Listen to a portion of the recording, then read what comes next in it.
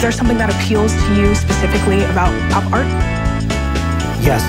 Andy Warhol, in particular, as the leader of these pop artists, his biggest theme was the democratization of art.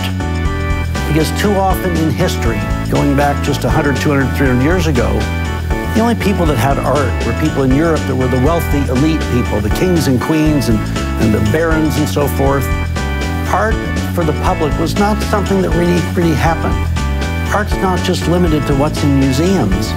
Next time you're in that grocery store, look at the food products, look at the labels, look at ads, look at buildings around you.